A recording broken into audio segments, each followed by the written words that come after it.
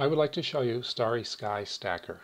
Starry Sky Stacker is a Mac application intended for stacking or combining groups of images taken of the night sky using a long lens on a camera mounted with an equatorial mount so the camera and lens are tracking the stars in the sky. This renders all the stars as points and you take multiple images to help with noise reduction and also because there can be slight errors in the tracking. So each individual image, the stars will be quite sharp, but there can be differences between the images. And then by aligning the images and then combining them, we can get a final image with low noise and the stars as points. So let's open some uh, images to look at. Here's a set of 30 images that Katja Seidel has been uh, nice enough to uh, let me use for testing and uh, demonstration purposes.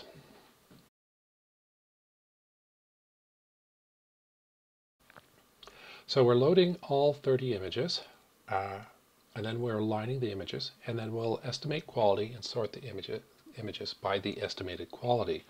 These 30 images were taken over the course of about an hour, so each, images, each image has an exposure of about two minutes. The individual images are quite sharp, the stars are rendered as points, but there is some drift over the course of the hour. So there is, it is necessary to align the images before stacking them. Um, so now we have our 30 images aligned and we've got quality estimates for all of them. So let's uh, zoom in here. I use the Z key for that, but I can use this button over here. Okay, look here. Now, this slider lets us determine how many images we will be combining in our final result. Uh, the default is to take the best half. If you have a good number of images, in this case we do, we have 30 images, it will take the best half of the images, so the best 15 by default. But we can move the slider around and we're always looking at, over here at the image, we're looking at the least good of the images that we will be combining. So as we drag this along, uh, you can see that these stars are not quite round. They're getting a bit blobby. Uh, they're not as nice and round and sharp as, say, the stars we get when we're over uh, moving the slider to the left and getting the better images. It turns out, I think, that 15 is probably the right answer in this case, so we'll leave it at 15. Uh, but I will show you down here that we have a menu where we can jump to any image. So let's jump up to 17 just for fun. And I could exclude this image or include it with these buttons here or with the X and the I key. Uh, we now have it included. The X here indicates images that are excluded. The check mark is showing us the one we're currently looking at. Uh, so we're all good and happy with this, so let's just say composite. So now what's happening is for each pixel, uh, we're doing two rounds of outlier rejection, followed by taking the median. That gives us a very good final result. Uh, I chose not to save it because, of course, I've done this before and I have lots of images, but uh, lots of copies of it, but I could have just uh, given a name there and hit save to save it.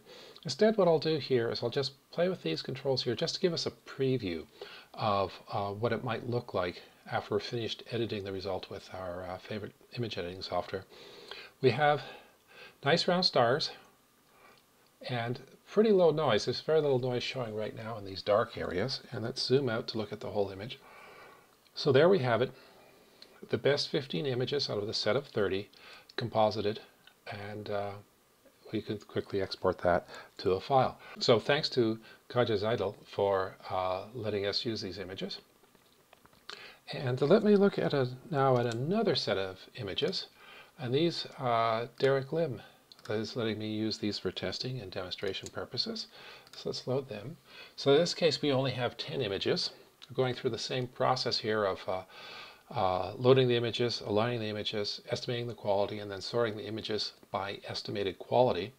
Uh, one thing that uh, Derrick did was uh, he was using a tracking device with his uh, a fairly long lens and a camera here, but something he did was every third frame or so, somewhere around every three frames, he would move the camera just a little bit manually.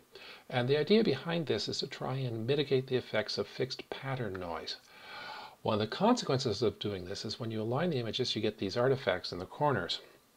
because some of the images are moved quite a ways relative to the other. So if you zoom in here on the corner, you can see there's something funny going on. That's to be expected because the camera is moving quite a bit. Uh, that's fine, we can work with that. Uh, in this case, uh, we've only got 10 images, so by default we're seeing all 10 images. We can click through them here. Let's zoom in first. We can click through them here and see, yeah, they're all pretty good, pretty sharp. Uh, so we'll just take all 10, say composite and save. And there's the images. Now, I could save these, I could change the name if I want to. I will just cancel because I've done this before. I have copies of this image.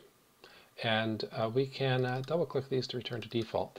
So this is what's been saved, a fairly low contrast image. And that's uh, basically the images we started from are low contrast like that. Go back to the result. Uh, we can just, for preview purposes, we can just tweak these a little bit. Maybe we're going to end up with something a bit like that once we're finished editing this with our image editing software. We've got lots of stars, nice and sharp. They're round. Uh, very little noise in the dark areas between the stars. And if we zoom out, we have a pretty good image. We're going to have to crop off the edges because of the uh, manual movement of the camera occasionally. But that's fine. That's what we were expecting to do. And uh, from a fairly small sample, in this case only 10 images, we have a pretty good result. And again, thanks to Derrick Lim for letting us uh, work with these images.